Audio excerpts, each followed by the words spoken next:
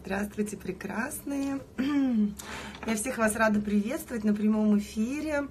А, для тех, кто забыл или не знает, меня зовут Юлия Хадарцева. И сегодня я решила провести прямой эфир вот на какую тему. А, после того, как мы с вами пережили вот это вот лунное затмение, а, там весь мир вибрировал, весь мир говорил о том, как мы это переживем, а вдруг с нами что-то случится и прочее. Поэтому я после того, как мы все-таки пережили это лунное затмение, решила с вами поговорить. Здравствуйте, вижу, вы присоединяетесь. Решила с вами все-таки поговорить про наши негативные чувства, про наши страхи, про наши опасения, про нашу агрессию и прочее. А, нам почему-то кажется, и мы так устроены, и нас так воспитывали, что мы имеем право проживать только положительные эмоции, что мы имеем право только быть все время в счастье. И если я вдруг не испытываю счастье, или меня что-то беспокоит, или я испытываю агрессию, если я испытываю ненависть, то это прям вот плохо. И мы тогда что делаем? Мы тогда берем и подавляем в себе негативные чувства, негативные эмоции, негативные, как нам кажется, да, проживания. И также у нас э, это все было связано вот с этим вот э, непонятным лунным затмением. Нам казалось, что сейчас весь мир рухнет, мы истерили. При этом, при всем, у нас действительно поднималась агрессия, поднимались негативные чувства, поднимались негативные эмоции. Но нам же нужно быть хорошими. Нам же с детства говорили, будь хорошей, успокойся, нельзя так разговаривать, нельзя так себя вести, а что о тебе подумают. И мы берем эти негативные чувства и эмоции, начинаем себя укладывать, укладываем и укладываем, и тогда мы в какой-то момент перестаем чувствовать. И у нас как будто в жизни разрешение на любовь, там, гармонию, счастье есть, а разрешения на агрессию, ненависть, его нету. И сейчас я хочу с вами это обсудить. Посмотрите, пожалуйста, в корень проблемы. Когда мы рождаемся, у нас есть наши родители – и родители действительно с нами иной раз достаточно жестко. Но при всем при том мы внутренне испытываем к ним ненависть, а мы все испытываем ненависть к нашим родителям. Почему? Потому что чувства, не знаете, как устроены. Если есть любовь, то есть ненависть. Вот эта дуальность, да? Мы либо в нуле ничего не чувствуем, если у нас есть любовь, там столько же ненависти, потому что это друг друга уравновешивает. Но родители нам что говорят? Я тебя люблю, это прекрасно говорить своей маме и папе, но я тебя ненавижу, нам все время сдерживают, нас за это били по губам, не знаю, запрещали говорить.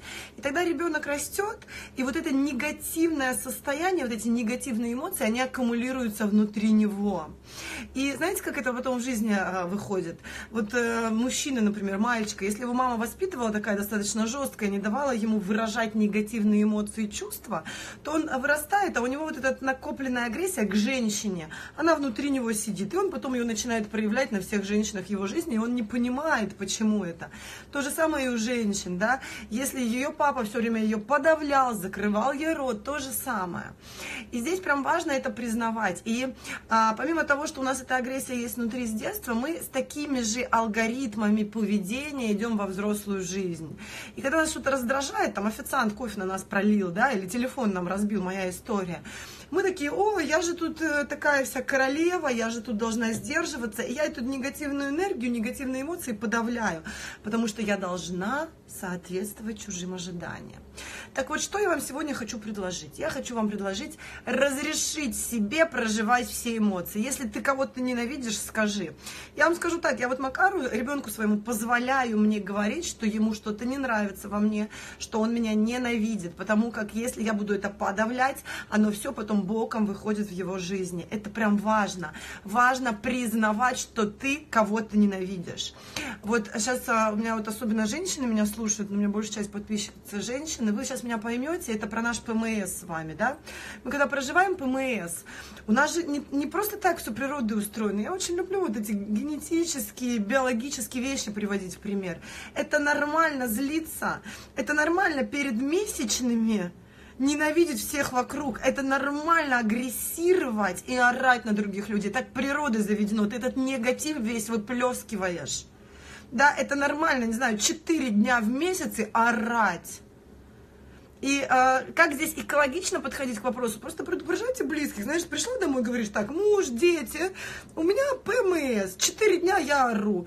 Не обращайте на меня внимания, это луна, это там моя генетическое, мое генетическое состояние. Главное, чтобы другие люди были, ну, понимали, что с вами происходит, да, потому что ты просто так начинаешь орать, можно и потерять э, людей окружающих.